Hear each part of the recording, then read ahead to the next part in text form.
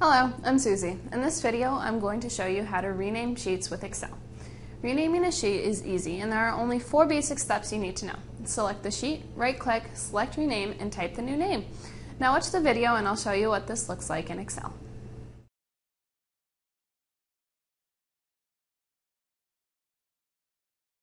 Select the sheet, right-click, select Rename.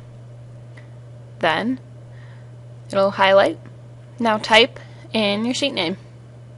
Then hit enter. Your sheet will now be named birthdays for the entire life of the Excel book.